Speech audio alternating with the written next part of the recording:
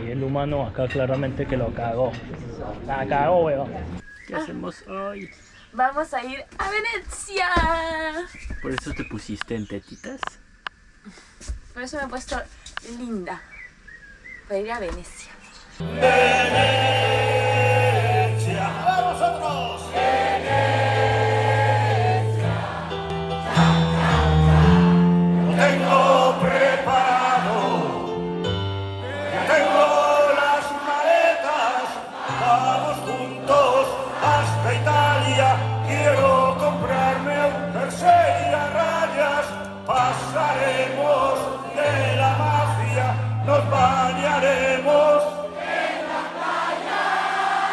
Como siempre, dando la contra, porque no hemos llegado a Venecia en, en tren. La mayoría de personas llegan o en avión, no sé si hay un aeropuerto, o en tren, pero nosotros hemos llegado en van y nos hemos instalado en Punta Sabioni, que está al frente de Venecia, que es como una península, como una isla al frente.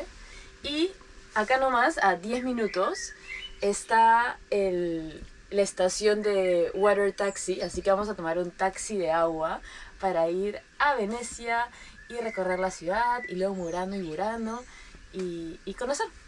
Yo voy a aprender sobre el Aperol Spritz. O sea, aprender. Tomar. ¿Por qué vas a ir a tomar Spritz? Lo que pasa es que Venecia es bien conocido porque los hermanos Barbieri, que eran de esta parte, crearon el Aperol hace 100 años atrás. ¿Te acuerdas que leímos? Mi tío. Tengo preparado, tengo las maletas, vamos juntos hasta Italia. Quiero comprar un jersey a rayas.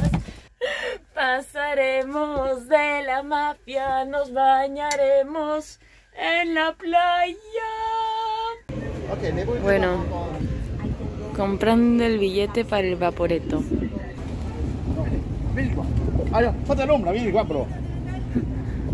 Aprendizaje, llegar un poquito antes, porque hay un reculo de gente. Eh, bienvenuti. ¿Quieres que te pase en góndola o prefieres que te pase en padel? Calles estrechitas. Lorenzo, puedes agarrarte la sábana del vecino si no tienes. o, los, o los calzones de la vecina. Roommates. Lleve su calzón, lleve, lleve, lleve, lleve. Bueno, hay un olor particular, pero bueno, supongo que es porque está construida en medio del mar. ¡Wow! ¡Taxi, taxi! Yo estoy sorprendida cómo han construido una ciudad flotante, básicamente.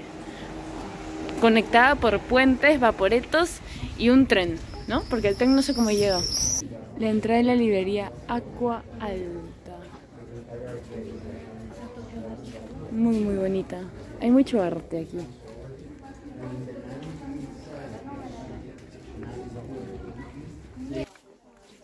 Tanti libro.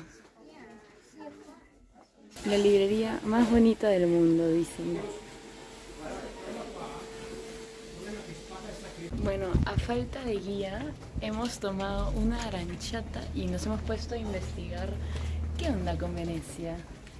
Cuéntale, Lorenzo, ¿en qué año más o menos fue fundada? En el. Cuarto, cuarto. Ya casi, en el siglo V parece que fue fundada. 412. Ha sido un centro muy importante, eh, un centro comercial muy importante para el imperio eh, romano. Están igual que nosotros con el GPS. ¿Qué comerciaban, pues? Todas las cosas, esclavos. Sí, es verdad. Lo que más comerciaban eran esclavos, que los traían del sur de Rusia a venderlos al norte de África, ¿no? Sí. Interesante. Bueno, ese es el puente de los suspiros, construido en el siglo XVII. Eh, y dicen que como ese puente daba acceso a los calabozos del palacio, bueno, de Venecia, era el último lugar donde los prisioneros podían ver el cielo y el mar a la vez antes de ser ejecutados. Un lugar muy muy importante en Venecia, que todo el mundo tiene que ir a ver. Esta es la Piazza San Marco, una de las plazas principales también Piazza San Marco, Piazza San Marco, la Basílica. Y si uno de los lugares más concurridos, muy turísticos, no tomen café acá porque les va a salir la vida. Traten de buscar lugares caletas. Hay tantos puentes acá que si estás discapacitado, No mejor no llegas a ningún lugar. Sí, que si tienes que usar silla de ruedas, te vas a vivir a otro lugar. Sí, porque solamente, solamente hay mil puentes con mil escaleras. Bueno, le encontramos Terraza Aperol, originario del Veneto. ¿Quién va a tomar Aperol Spitz?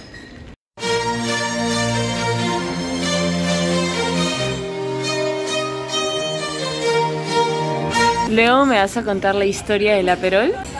Disfruta bien en este Aperol porque está carioca. ¿ah?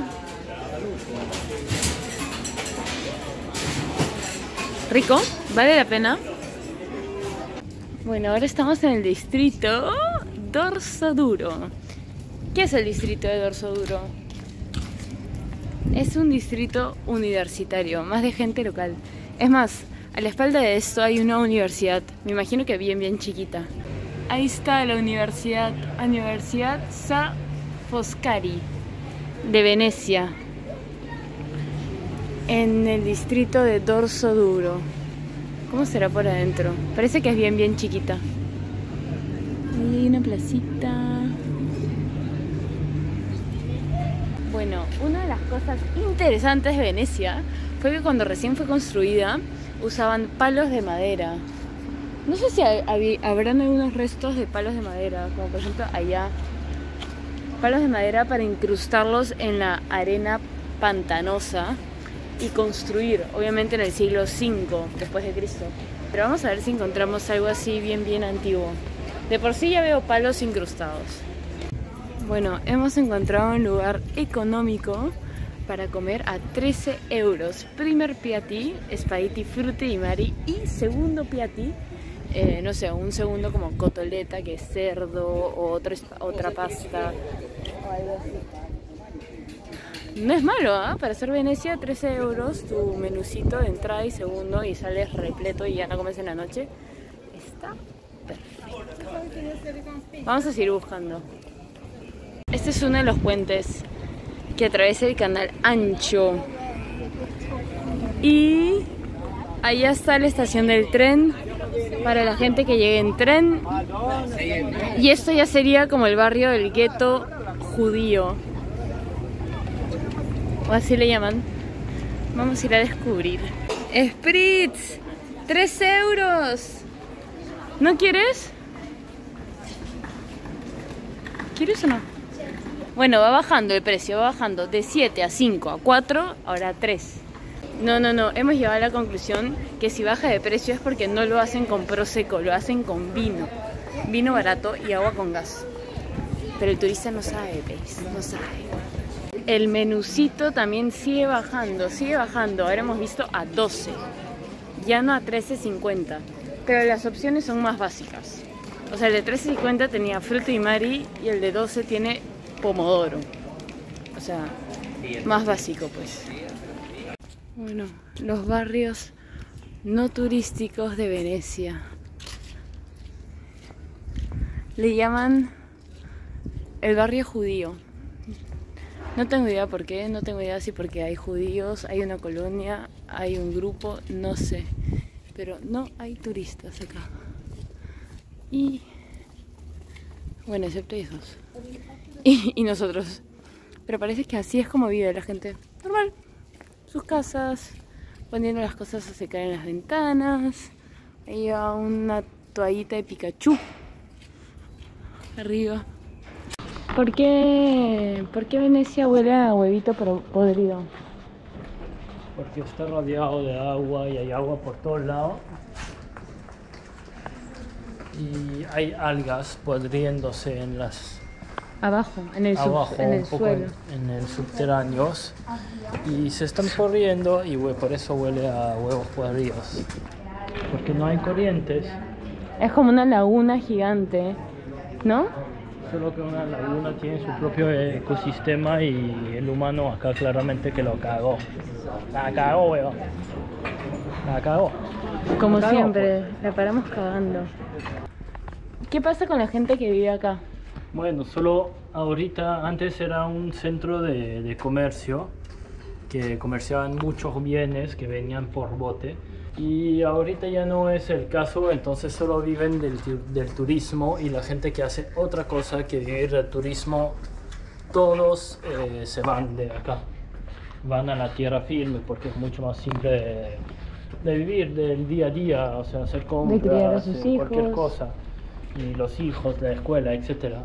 Entonces ya solo hay la gente que vive del turismo que están acá. Porque es un gran problema. Porque todos se van, solo quedan la gente que trabaja en el turismo. Y hay pocas escuelas, hay pocas cosas así, pocas viva en general. Ahora vamos a hacer una experiencia en góndola por 2 euros y vamos a cruzar de acá a allá. Esta es la góndola low cost. Low cost. ¿Lo vale o no? Experiencia en góndola. Bueno, bueno, ¿qué tal? ¿Qué tal lo que he descubierto? Góndola por 2 euros. Porque bueno, entre tú y yo la góndola de pareja está 80. Estamos hablando de un ahorro de 78 euros. Hola. Bueno, vas nadando, ¿ah? Vas nadando. es un Dale. minuto. Empieza a nadar.